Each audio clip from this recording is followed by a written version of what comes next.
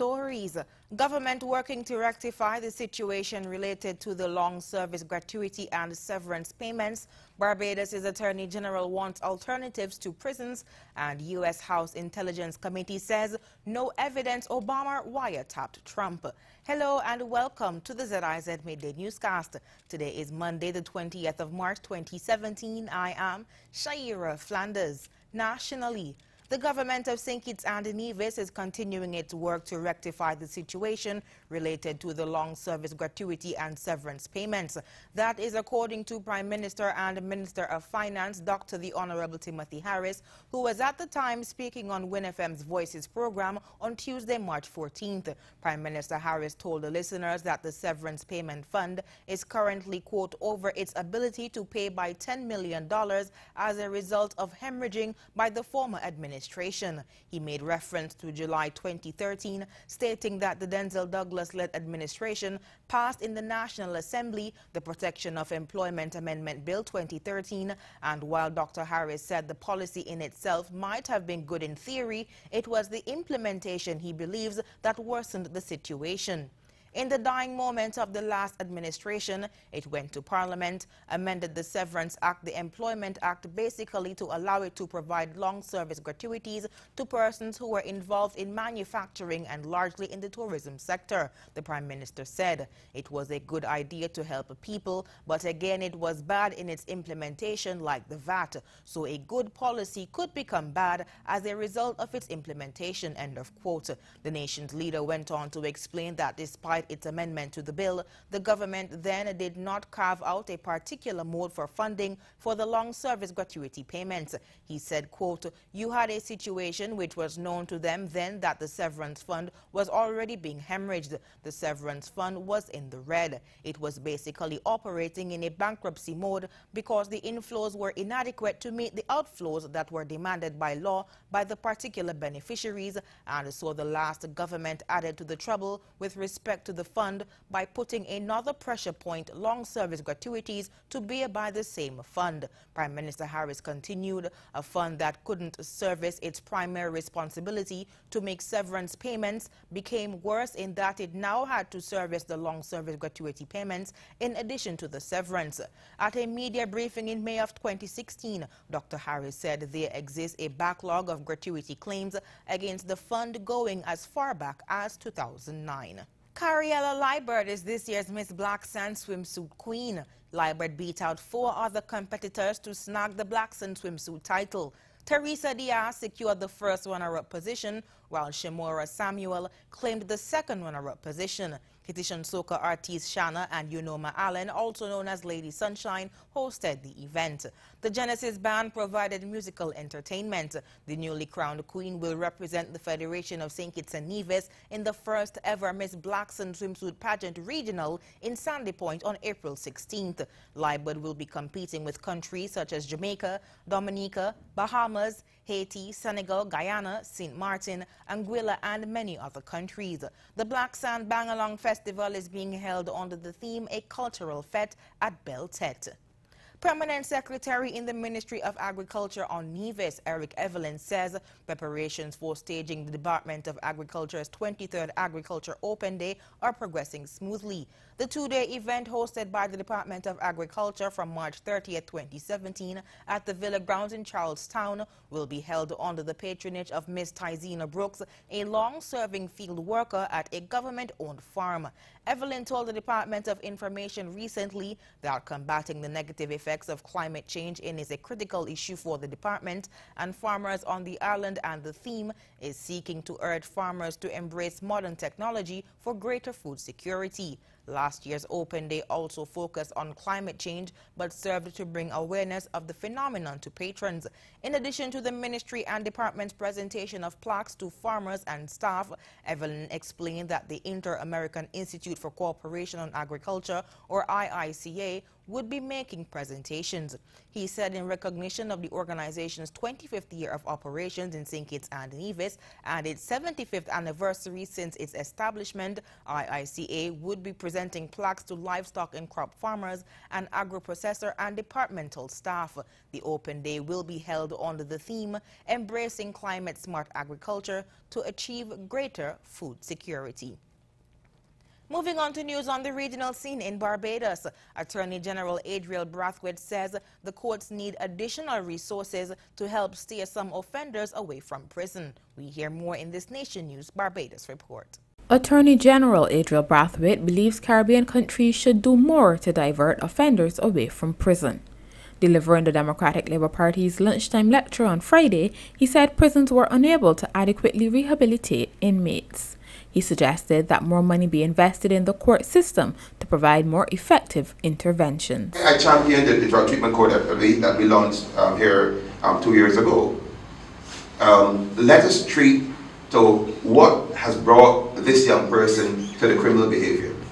And if we can do that, then hopefully that we can save more of them because as I said, the answer cannot be let us send them, let us send them all to prison. Where and again, that's why I make the point in terms of let's, let's enhance and improve the criminal justice system and in, in particular the courts, give them additional resources. Because as it stands, in almost all of our territories, and I'm very confident about this, in all of our territories, that none of the prisons have the resources to carry out the type of reforms that, that is required. Then, you know, if, if a chap has um, an addiction issue, none of them has the resources in the prison to treat the addiction. Um, you know, if he has psychiatric issues, the resources are not there, you know, etc. So, so sending him into the prison for five years or six years for him to sit down, um, learn his craft better, and then be released back into our societies cannot be the answer. So I think, as, as I said, as a region, um, I would recommend that we spend more money enhancing our court systems, um, doing the kind of approach that, that I want to see have specialized courts, um, have family courts, juvenile courts, etc., so that we can treat to the individual as an individual as opposed to as a statistic. So let us, you know, just get the case out, out of the way. St. Lucia is getting help from a United States development partner to reduce energy costs in tourism, the country's largest electricity consumer sector. We hear more in this HTS St. Lucia report. The training with the St. Lucia Hotel and Tourism Association is part of the USAID's Caribbean Clean Energy Program, CARCEP. The landmark program hopes to bolster energy efficiency in the Caribbean's hotel sector, the largest electricity consumer sector in the region. This week, CARCEP training came to St. Lucia. Chief Executive Officer of the SLHTA, Noorani Azeez, has applauded the move towards greening the local hospitality sector the workshop is very important to us as an SLHTA uh, because it allows our properties to look at opportunities to reduce their operating costs and to ex- or to benchmark the use of energy um, on property with a view to incurring savings lower on down the road. Uh, we're pleased to be collaborating with the USAID CARCEP program to ensure that our, our hotels get exposure to software that will allow them to benchmark their energy uses and to look at uh, more efficient energy uh, habits on property. Azeez says the initiative is expected to appeal to a lucrative niche tourist, the eco traveler see from the data that ecotourists have a tendency to spend more, they uh, interact with the environment more frequently, they engage the communities more, uh, but they want to ensure that the properties that they, that they engage and, and, and, spend their time at um, are very environmentally conscious. Globally, the whole issue of the impact of, of tourist, tourism practices on the environment or sustainable tourism is becoming a, a very big phenomenon globally, and a lot of guests are being very um, deliberate about where they spend their money based on the environmental practices of that destination and the hotels themselves. Owen Gunning is an energy engineer and the director of engineering at the University of Technology in Jamaica. He is also the program's development specialist. He says the goal is a reduction in hotels' energy consumption. We intend to present a number of, of tools um, first we're starting with a benchmarking tool and then we will go into specific areas of, of energy conservation, um, value of energy efficiency, um, financial um, tools, um, benchmarking tools. We're going to be looking at um, how you you look at risk mitigation, um, you know, to that people who are interested in investing in renewable energy and the barriers they have to overcome. So, you know, we, we intend to go into specific technical solutions. CARCEP is a five-year program and officials hope it will result in Caribbean countries establishing effective policy and regulatory environments as well as incentives for low-emission growth in energy. It is based on the reality of the regional energy sector. Caribbean countries remain heavily dependent on imported oil, and despite recent dips in world oil prices, electricity costs in the region remain among the highest in the Western Hemisphere. The project hopes to assist public and private sector entities to invest in renewable energy for a sustainable future. On to news on the international scene, the chairman of the U.S. House Intelligence Committee says he does not believe Barack Obama spied on President Donald Trump. Republican Devin Nunes also says he has seen no proof Russia colluded with Trump's election campaign. On Monday, the U.S. Senate panel is holding a real public hearing into Russian meddling in the vote. Al Jazeera's James Bays report from Washington, D.C. Just over two weeks ago, it was here at his Florida resort club that President Trump took to Twitter, making the explosive allegation that he'd been wiretapped by President Obama. Since then, the White House has provided no proof whatsoever for that very specific allegation, despite two weeks of continuous questioning. Are you saying that the president still stands by his allegation? How confident is President Trump that any evidence uh, will arise to support his claim? Is the White House come up with any evidence whatsoever?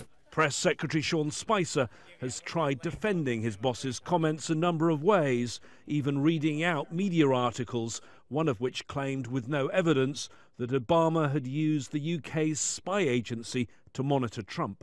He used GCHQ. What is that? It's the initials for the British intelligence spying agency.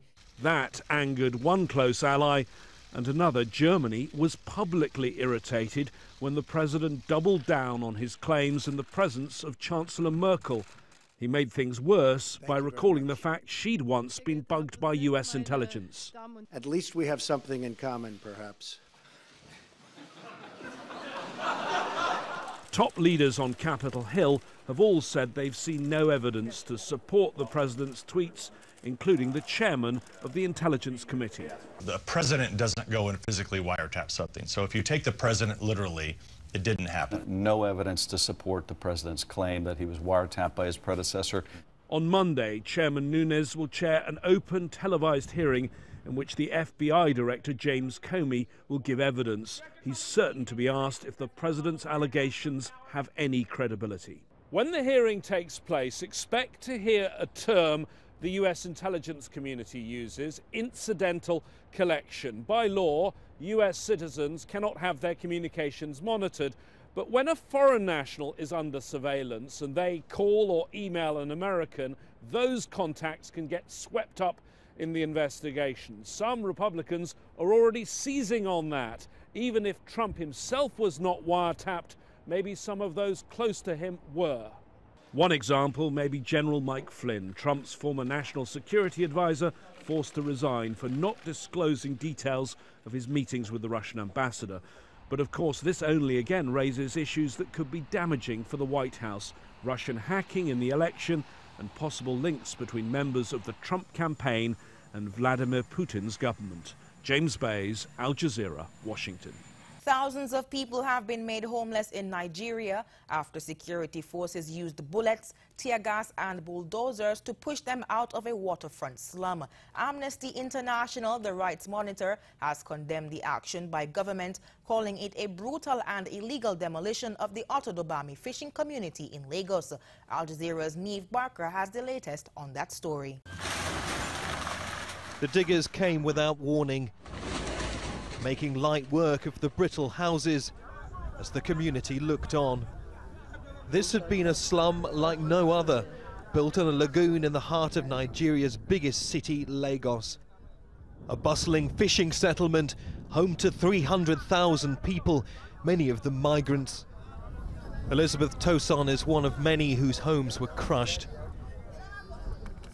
Her three children picked through the debris, trying to salvage what's left of their school books. The security forces came the night before, she said, with bulldozers and tear gas. When the community resisted, they started shooting and crushing their homes. The clearance happened in spite of a court ruling made in January ordering the government to consult residents before evicting them. An aid group that's helping the community with its legal battle says the government's actions are illegal. The court has actually found that the demolition that took place here and the types of demolitions that have been taking place, rendering people homeless without alternative, constitutes cruel, and inhuman, and degrading treatment in violation of the Constitution. This is the second time in five months that houses have been demolished here. In December, around 30,000 people were forced to leave 11 people were reportedly killed in the process, but many still returned to rebuild their homes. In this city of 23 million people, land is a precious commodity. These waterfront plots, a prime site for developers. Neave Barker, Al Jazeera. And now for the weather. Present weather is partly sunny. Winds are blowing from the southeast to east to southeast at 7 to 11 miles per hour. Today will be sunny with a high of 79 degrees Fahrenheit, while tonight will be mostly clear. The overnight low is expected to be 76 degrees Fahrenheit. Sunset today will be at 6.22 p.m. That brings us to the end of the ZIZ Midday Newscast. Join us this evening for these stories and more in detail. Thank you so much for tuning in. I am Shaira Flanders. Have a good one.